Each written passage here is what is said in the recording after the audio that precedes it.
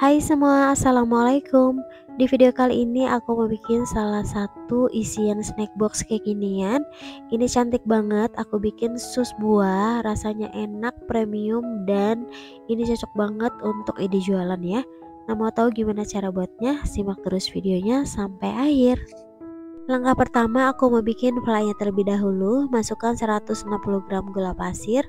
Tambahkan 60 gram tepung maizena. Tambahkan juga 1 sendok teh vanili susu. Boleh pakai vanili biasa ya.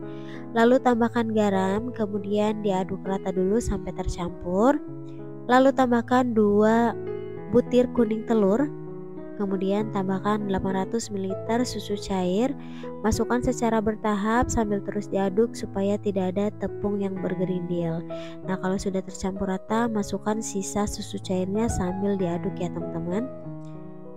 Nah, kalau susu cairnya udah masuk semua dan sudah benar-benar tercampur rata, kemudian ini mau aku masak di api sedang cenderung kecil. Ini masak flynya harus sambil terus diaduk ya teman-teman supaya flynya itu tidak gosong. Nah, kalau sudah mulai mengental seperti ini, tambahkan 2 sendok makan margarin, aduk rata sampai margarinnya larut. Kalau udah tercampur rata kayak gini, matikan api.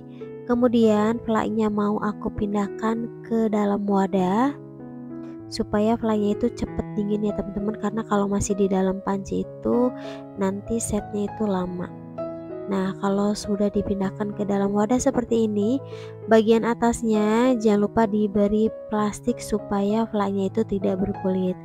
Kemudian ini mau aku taruh kulkas supaya uh, cepat set ya flynya Langkah selanjutnya aku mau bikin kulit susnya, masukkan 125 gram margarin, kemudian tambahkan setengah sendok teh garam, lalu tambahkan 200 ml air putih, kemudian margarinnya mau aku masak di api sedang cenderung kecil.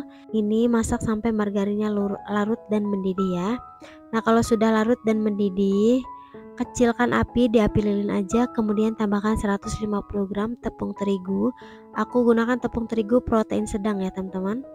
Nah kalau sudah kali seperti ini, ini sudah cukup. Matikan api, kemudian pindahkan adonan ke wadah lain. Tunggu sampai adonan hangat supaya uh, pada saat memasukkan telur, telurnya itu nggak matang ya.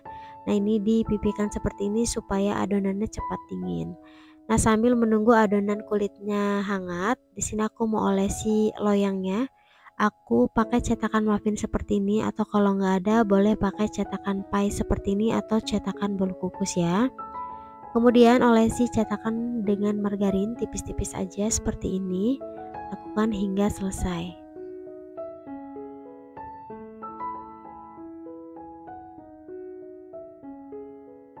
Nah untuk kulit susnya ini udah dingin kemudian aku mau tambahkan dengan 3 butir telur. Masukkan telur satu persatu. Ini aku mengaduknya dengan mixer ya teman-teman.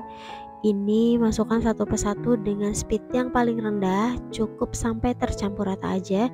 Jangan over mix karena kalau over mix adonan akan menjadi lembek dan susah mengembang ya. Nah kalau sudah tercampur rata ini udah cukup dan sisihkan Kemudian ini mau aku aduk sebentar menggunakan spatula, lalu masukkan adonan kulit sus ke dalam piping bag atau plastik segitiga seperti ini.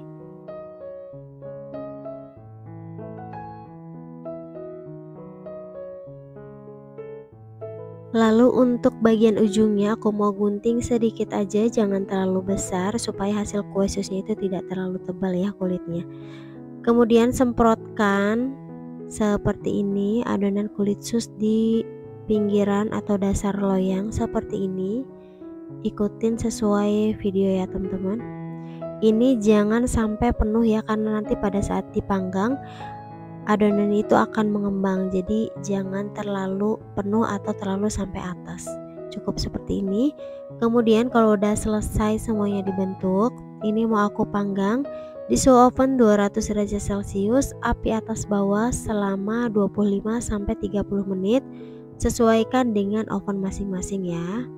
Nah setelah 30 menit dipanggang ini kue susnya udah matang Pastikan gelembung-gelembung yang ada pada kulit sus itu sudah nggak ada Baru dikeluarkan dari oven ya teman-teman Supaya hasilnya itu tetap garing Nah ini dia hasilnya kue sus yang udah mateng tuh jadinya seperti ini ya teman-teman. Ini untuk hasil yang di loyang muffin ini untuk hasil di cetakan kulit pie dan ini hasil dari cetakan bolu kukus. Untuk hasilnya berbeda-beda ini sesuai selera teman-teman aja mau cetak pakai cetakan apa ya.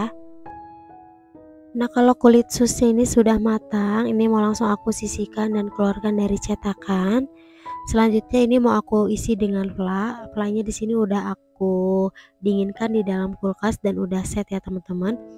Dan flanya itu mau aku aduk dulu supaya lembut kembali. Untuk buah-buahannya di sini aku gunakan strawberry, kiwi dan juga anggur hitam. Untuk buah-buahan sesuai selera teman-teman aja ya mau pakai topping buah apa. Ini buahnya udah dicuci bersih ya teman-teman. Kemudian masukkan flak ke dalam plastik segitiga atau piping bag untuk memudahkan kita menyemprotkan ke dalam kue susnya ya. Nah, untuk bagian ujungnya dilubangi dan langsung aja isi flash sampai penuh supaya hasilnya lebih bagus. Kalau semuanya udah diisi fla ini kita tinggal topping buah di atasnya.